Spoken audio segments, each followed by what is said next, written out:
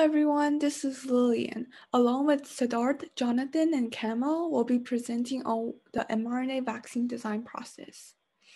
We split the topic into four sections. What are mRNA vaccines? How computational tools are applied in the design process, and also limitations and hopes in the mRNA vaccine. What is mRNA vaccine design? What? mRNA vaccines teach our bodies how to fight against certain viruses that may penetrate its immune system. Where, as the name suggests, this process takes place on the cellular level, where important proteins are made. How? When the vaccine enters the body, it teaches the cells how to make a protein that stimulates an action that produces antibodies, the proteins that protect cells from real viruses. How does the mRNA vaccine work? The whole point of the mRNA vaccine is to provide instructions for our cells to make a harmless copy of the spike protein, which is found on the surface of the COVID 19 virus. The best way to insert the vaccine into the body is to inject it on the upper arm muscle. The mRNA, now inside the cells, the cells use the instructions to make the spike protein.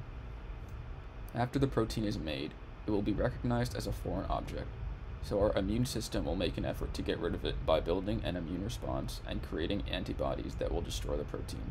The immune response that occurred when the spike protein was present is remembered by the immune system, so if there is any infections of the actual virus, the immune system will know how to defend itself. Now that we know how the vaccine works, let's take a look at the computational uh, aspect of it. After an introduction on what mRNA vaccines are, let's now look at how computational tools can be applied in the vaccine design process. First of all, why are we using computational tools in creating vaccines? Well, after millions of years of natural selection, there are multiple defense layers in the immune system, and that created a large amount of data. Computational tools is one of the only ways we can efficiently get useful information out of those large amount of data. Early stages of computational immunology was quite simple. Dee Groot is the founder of EpiVax, a computational immunology company, and her first computational algorithm was to understand how T cells recognize pathogens. She copied a gene sequence into a warp processor and thereby identifies peptides that are recognized by MHC proteins, and the code works. What resulted from the simple algorithm was EpiMatrix, which breaks down pathogens' protein into chunks of amino acid. This invention allowed us to reduce 99.8% of the epitope sequence, making the vaccine design process more efficient than ever. Now we know the background of computational immunology, but how can we apply it to the vaccine design process? For mRNA vaccines, the computer will generate a source code, or the gene sequence to produce the vaccine. The sequence is then uploaded to DNA printer, which will convert computer bytes to actual DNA. Then, after a lot of chemical and biological processing, the DNA produced turns to RNA, and that's the final vaccine product. With that being said, what's the source code made up with, or how do we create the source code? This is a diagram that categorizes the source code to a few important categories. Every sequence starts with a cap. It is just base G and A, which are also called the headers of the vaccine. After the headers, there's a sequence called the 5' untranslated region. This region will not be used to make the protein. Well, you may ask, if it's not being used, what's the purpose of having it? When making protein, ribosomes have to physically sit on the mRNA strand to start a translation process. This region provides the lead-in signal for translation and also contains metadata, such as when and how much should the translation happen. The S-glycoprotein signal peptide is very short and it tells the cell where should the protein exit. After the 5' untranslated region and the S-glycoprotein signal peptide, here comes the most important part of the source code. This is the sequence that produces the actual protein. This sequence for the vaccine protein has important changes from the original viral sequence. So there's a lot of substitutions of gene nucleotides and some amino acids are being substituted to proline. Let's look at a diagram to visually see those changes. Here on the top of the diagram is the viral RNA and on the bottom is the vaccine RNA. Here's a substitution where G is changed to a U and more importantly, The AAA and UGG are changed to CCU, which is proline. So why are those changes being made? While those changes largely enhance vaccine's efficiency, let's look at an example, the spike protein for the COVID vaccine. Those gray spots around the large white circle are the spikes of the protein. They will collapse into a different structure for the unmodified sequence. If that sequence is injected, the body will only have immunity against collapsed spike protein, and that is certainly not what we want. There is an idea introduced in 2017, which is double protein substitution. Proline is a very rigid amino acid. It will act as splint to stabilize proteins by taking up their prefusion configuration. With those important substitutions, spike proteins will not alter their shape, and they can be used for the vaccine. Just as how there's the 5' untranslated region, there's also the 3' untranslated region. They sound similar, but they have very different functions. There are still mysteries on the 3' untranslated region, but based on current research, we know that this region plays a crucial role in promoting protein expression. At the end of the sequence, we have the poly A tail. It is just a bunch of base A's at the end, and it protects the sequence from degradation. This end shortens every time when the strand is reused to produce the protein, and the strand will be discarded once there are no more A's in the poly A tail. Like I said in the beginning, computational tools largely make the vaccine design process more efficient. Before, it takes years and costs millions to design vaccines, but with computation, this process can be compressed into hours. However, no matter how precise the algorithms are, they can never substitute experimental data. Hypotheses generated may look well on paper, but failed on actual testing. Thus, even though computational immunology can help advance the vaccine design process, it is never a shortcut.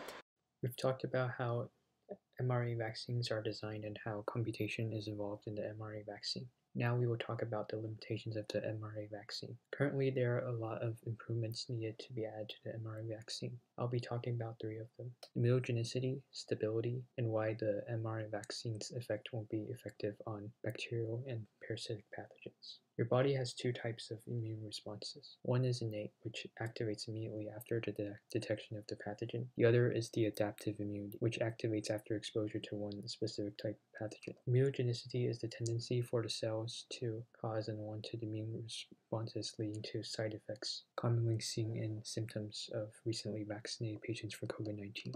These symptoms include fever, chills, and headaches. IVT, or in vitro transcribed mRNA, commonly used to express a therapeutic protein, can cause toll-like induced inflammation by activating the immune system. There are ways to reduce the immunogenicity of the mRNA vaccine. One example of this is to shorten the U-rich sequence of the mRNA. Another way is modifying the nucleotides so that there are more GC sequences and adding a poly A tail for stability. The last way is to purify the mRNA through various methods such as anion exchange, liquid chromatography, and affinity chromatography. Additionally, mRNA is very sensitive to degradation and must be stored in very low temperatures especially for the Pfizer vaccine. At room temperature, mRNA vaccine will degrade in less than a day. However, mRNA degradation is a normal process in your body that allows your cells to recycle mRNA after being used for the translation to pro synthesize proteins. The best way to retain the stability of the mRNA is to add the poly A tail. The poly A tail protects the mRNA molecule from enzymic uh, degradation in the cytoplasm and assists in transportation of the mRNA from the nucleus in translation. mRNA effects on parasites and bacteria. The mRNA does not work on parasites and bacteria. So far, no vaccine has been approved for bacterial or parasitic infections. This is because of the complexity of the bacterial structure and the complex reproduction processes that the parasites have. This chart shows that an E. coli bacteria is at least 10 times larger than any known virus. The mRNA vaccine might not work on bacteria and parasites, but luckily we already have very effective antibiotic and antiparasitic drugs that can easily cure these infections. As for the parasitic infections, there needs to be new production process in order to in order for the mRNA vaccine to target the antigens. Using traditional injection of wheat-based parasitic pathogens can increase the risk of infections. That is all for the limitations of the mRNA vaccine. Though there are numerous limitations to the usage of mRNA in vaccines,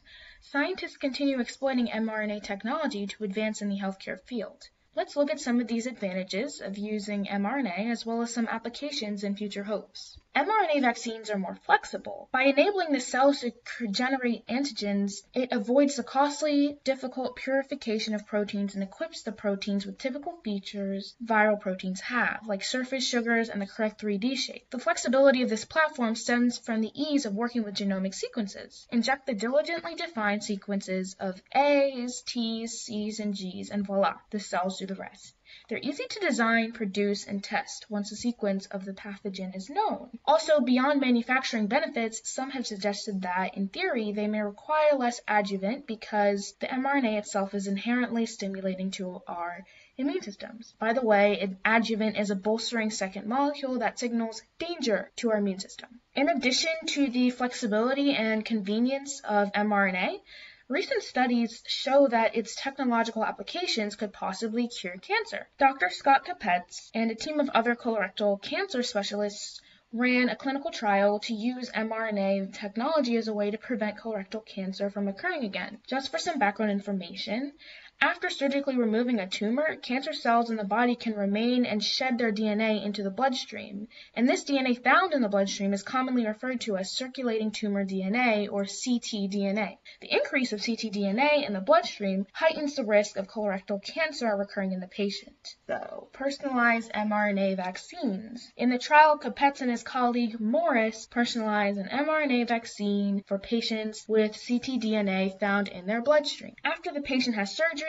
for their tumor's tissue is sent to a lab and analyzed. It's tested for genetic mutations fueling its growth. The number of mutations could range from 5 to 20, and mutations are then sorted based on how often they occur. Mutations with frequent with frequent occurrence have higher priority and are weighted more significantly when taking into account the design of the vaccine. So the vaccine is then created to fight the genetic mutations present in the analyzed tumor. And here is a diagram depicting a similar process that Dr. Kapetz and Dr. Morris followed in their clinical trial. Let's take a deeper look into using mRNA for cellular therapies, particularly cancer immunotherapy. Once the vaccine is created, the targeted cells are transfected with mRNA, which gives directions to create molecules that would modify the cell's immune response. So a specific application of using mRNA in immunotherapy is the transfection of dendritic cells in the immune system, also known as DCs. The DCs are transfected with mRNAs which encode tumor-associated antigens, also known as TAAs. So the DCs then process the TAA material and present the TAA peptides on the DC's surface, therefore activating the T cells, which are a type of white blood cell that aid in the body's adaptive immune response. So another application is the direct injection of mRNA into the patient's T cells. These mRNAs would encode chimeric antigen receptors, also known as CARs, and they are special receptors created in a lab that are designed to bind with specific proteins found on cancer cells. So once these receptors are added, the T cells are now aided in finding and destroying cancer cells containing the protein corresponding to the CAR. So here are our works cited, and here are more works. Thank you.